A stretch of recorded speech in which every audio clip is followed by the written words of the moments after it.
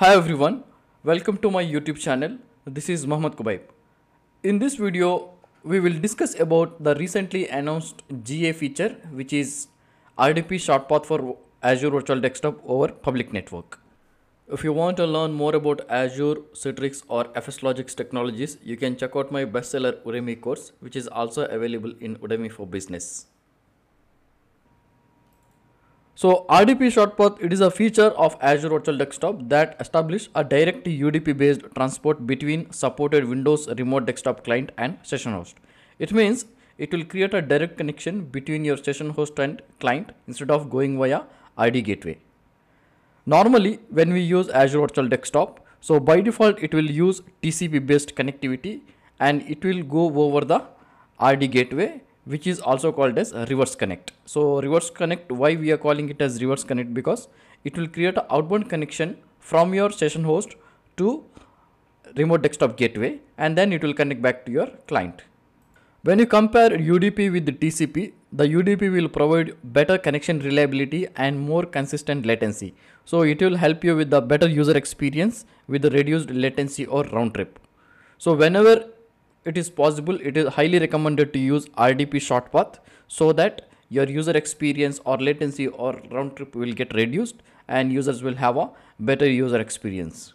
RDP short path can be used in two ways. One is managed network where direct connectivity is established between the client and the session host using private connection such as VPN or site to site VPN, point to site VPN or express route. So this is purely for the corporate network and where you have a direct connectivity between your office and the Azure.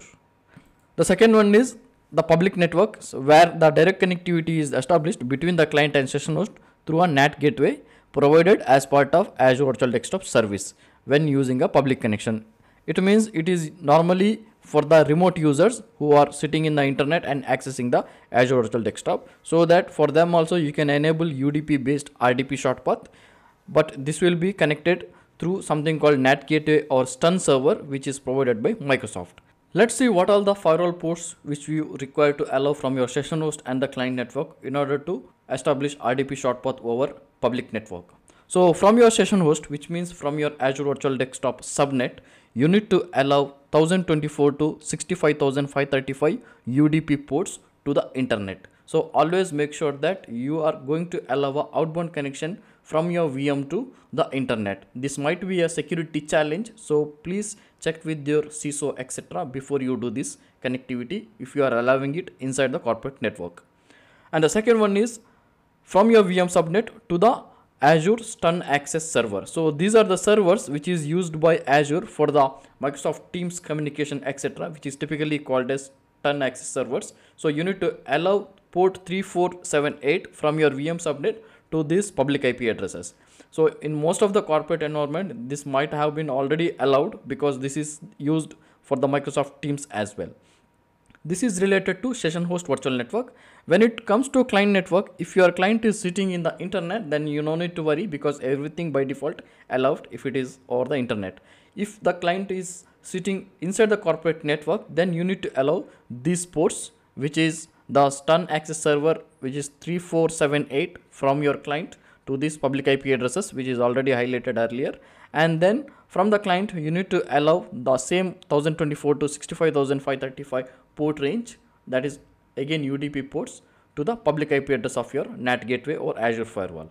So these are the firewall ports required by RDP short path over public network. Let's see the architecture or communication flow with RDP short path for public network. Before jumping into RDP short path for public network architecture, let's try to understand by default Azure Virtual Desktop uses something called reverse connect. Let's try to understand what is reverse connect and how it is working and then we'll head over to the RDP short path. So this is the architecture for Azure Virtual Desktop with the reverse connect. So with the reverse connect, which is a TCP based connections. So by default, when you launch any desktop or VDI through Azure Virtual Desktop, so from the client, the connection will go to the RD gateway.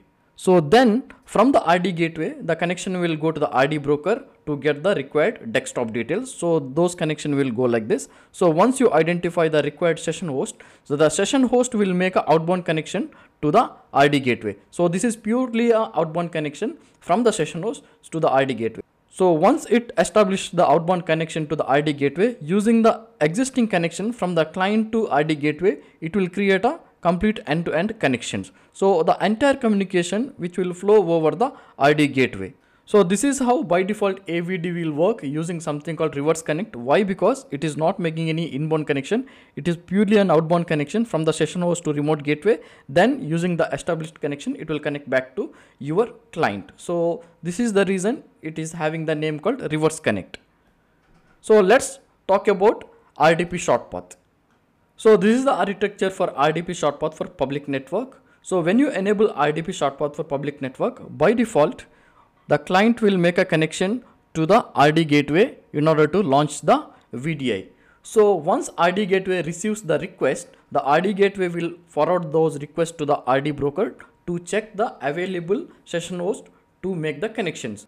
So once the RD broker identifies what are the session hosts available to accept the incoming connections. Earlier, it used to go like this to make the outbound connection back to the client. Now it will skip this path. Instead of going through RD gateway, what it will do, it will directly connect to the client using UDP ports. So this is this communication which is highlighted over here.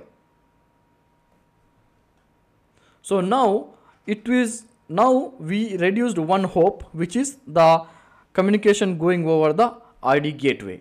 So now it is directly going to the client and it is skipping one hop so which is ultimately reduces the latency or round trip and this is a purely a UDP based connection so it is having more connection reliability and which will result in good user experience.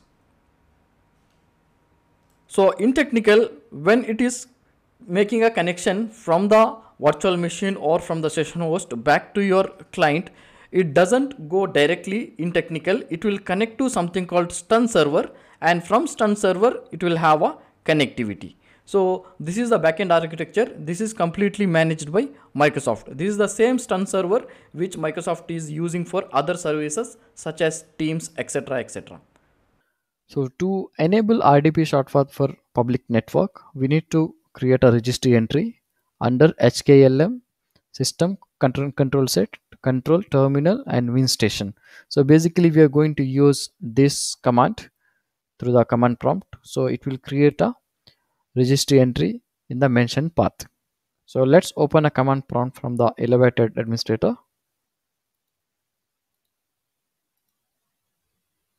So let's run this command.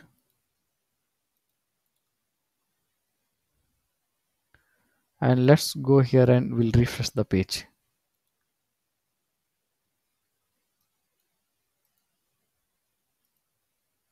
as you can see we have our entry. So this entry will enable the rdp short path so now let's go back to our client machine and we'll try to connect to the virtual machine and we'll see the protocol and the round trip.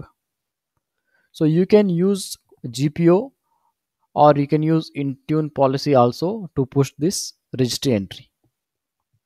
And also you can use the same command on the master image and then you can create a session host. That is also possible. So let's go back to our client machine. So i'm going to launch the remote desktop client. Before we enable rdp short path so first let's launch the vda with the default tcp rdp reverse connect and we'll see what is the round trip and the protocol it is showing. So i'm going to launch the vda i'm going to enter the credential.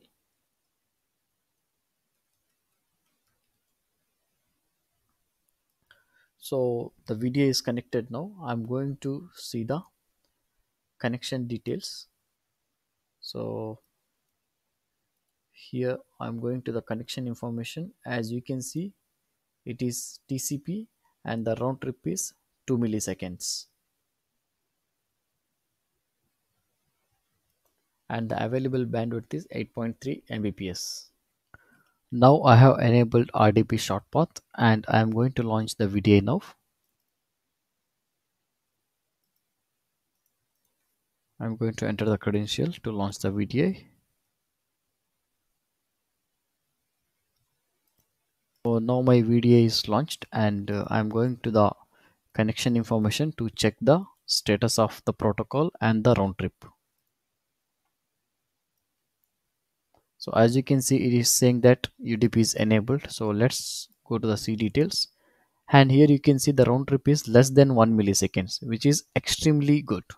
So the connection and the latency is very minimal and the user experience will be excellent so the transportation protocol you can see it is a udp protocol so this is how you enable rdp short path for public network and it will add a high value to the end user experience you can verify the status of RDP short path by going to the client and in the connection information you can see UDP is enabled.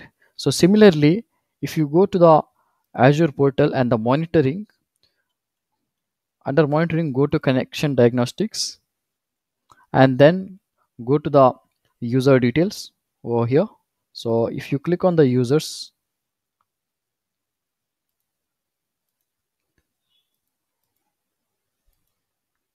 select the user.